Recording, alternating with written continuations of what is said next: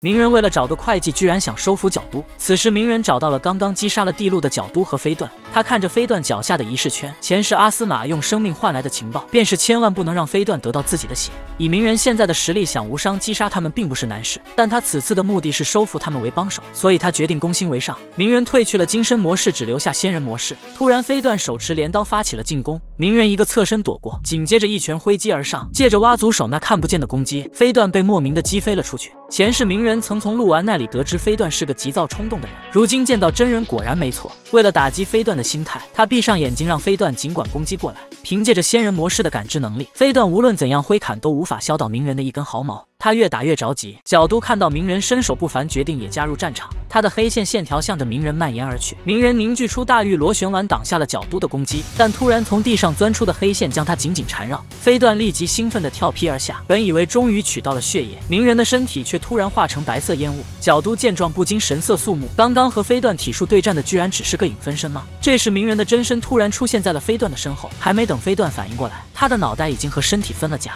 飞段急忙让角都帮他链接身体，但角都根本没有机会靠近飞段的脑袋。看到鸣人和他曾经在八百米外交手的柱间极其相似，角都认真的开启了地怨云模式。他对着鸣人施展了火遁头，刻苦配合上风遁，在风的助威下，大地霎时间变成了火海。普通人看到这招可能会感到惊讶，但这种规模的火遁鸣人在未来的战斗中早已见惯不惯。他分出了两个影分身之后，三人配合发动了自来也的拿手招数五右卫门，有海烈焰将角都的火遁强制压了回去。角都立即向前释放了一道强力水炮，但仍旧抵挡不住鸣人的火遁，他只好将最后的雷面具也用上，这才堪堪挡下了鸣人的攻击。一番交手下来，让角都有点怀疑人生。鸣人的一招火遁居然迫使他动用了四个面具。他问鸣人到底是谁，有何目的？鸣人笑着介绍自己叫漩涡鸣人，是未来的七代目火影。他表示自己有更大的舞台，让角都发挥他的敛财能力。一听到关于金钱的话题，角都一下子就来了兴趣。鸣人要让他做的便是在未来统管整个忍者大联军的财务。关于酬劳，他愿意支付角都在小组织的双倍工资。角都听到双倍工资，先是浑身一颤，随后大笑了起来。